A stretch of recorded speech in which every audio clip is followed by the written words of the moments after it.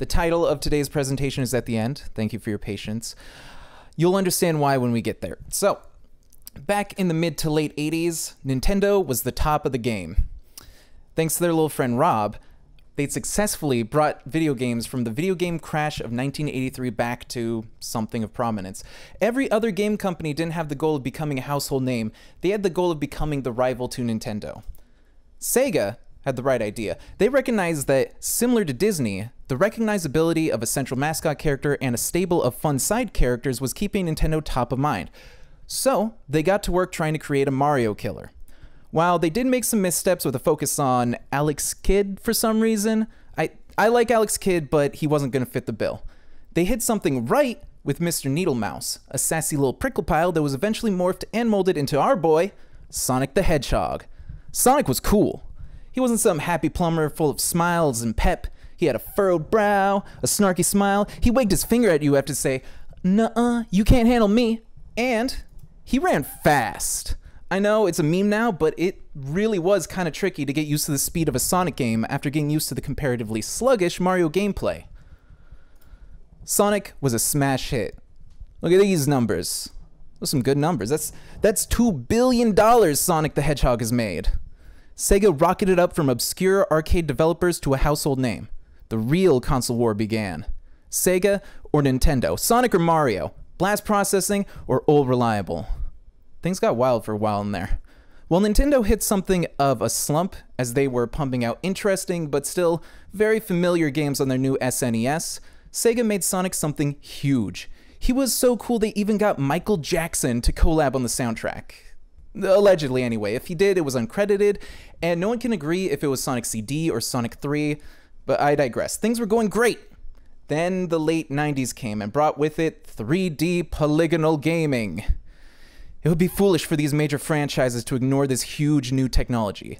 Nintendo got cracking on Super Mario 64 and The Legend of Zelda Ocarina of Time, which are still considered the benchmarks for 3D games. Sega put out Sonic Adventure, which well, you can see for yourself.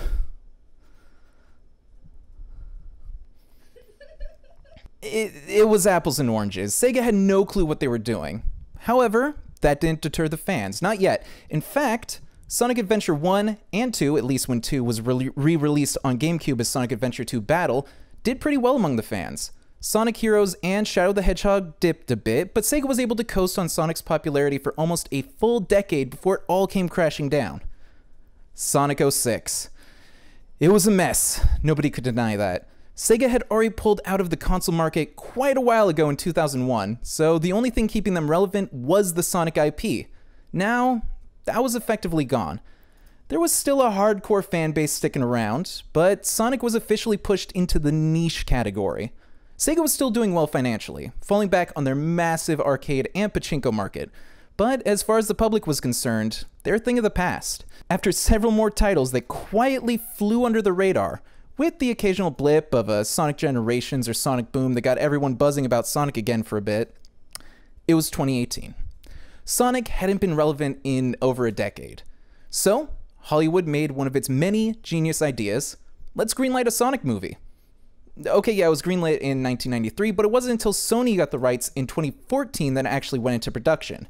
In 2017, Paramount got the rights and the team and continued production. By 2018, we saw the promo images, the posters, and everyone collectively went, uh, it's not what he really looks like, right? We waited for the trailer to drop, hoping that it would reveal something new about the design, and nope. It was so much worse. Sonic is just ugly and creepy. He looks way more like the alien he's supposed to be as far as the film we eventually got said.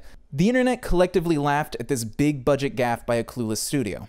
You can tell that they didn't care, as animator Max Schneider stated that fans would object to the redesign, but general audiences would not care, as had been the case with the 2014 TMNT film. Ignoring the fact that people collectively hated those designs too, that's an incredibly shitty attitude to have about the design of your main character. But yay, through yonder window breaks, tis a tweet on May 2nd, 2019, by the director stating that the character will be redesigned. It meant a three month delay, but it was the best decision they could have made. Well, second best, because the best decision was bringing on the best man for the job, Tyson Hesse. See, Tyson drew for the Sonic comic, both under Archie Comics and IDW, and he animated the promos for Sonic Mania, including Sonic Mania Adventures, a super underrated online cartoon. Go check it's on YouTube. Go check it out. It's free. More importantly, he's a fan. This is a fan comic he made before he did anything official. He knows what made Sonic fun and what people loved about Sonic. He understood that Sonic, as a character, is his design. Sonic has only survived through a dozen crap games because his design is so phenomenal. So, first and foremost, he had to bring things back to the real baseline.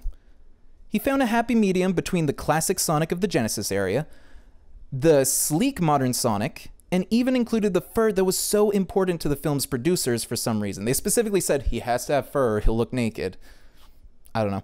More importantly, though, he remembered what Sonic is. Sonic is cool. Not our cool, kid cool. Sonic only became a sleek shitty boy because that was that's what was cool in 2006. As adults, it's easy to forget that kids have a very specific idea of what is and isn't cool, and it changes all the time. Tyson didn't forget. Tyson looked at what it is that kids like today, what the new cool is. He broke it down, he worked it out, and he locked onto it. Kids nowadays don't want an edgy guy or a cute little cartoon. Kids today like one thing in particular dancing. Just let that play out for a second. I'm so happy. I found this in just a random image search. TikTok and Fortnite should make it clear. Kids love dancing. Not just dancing, but silly dancing. So when it comes down to redesigning and reanimating Sonic, what do you do to make sure he's a smash hit? It should be so obvious. You make Sonic floss not once, but twice in this film. And that is the title of this presentation. Thank you very much.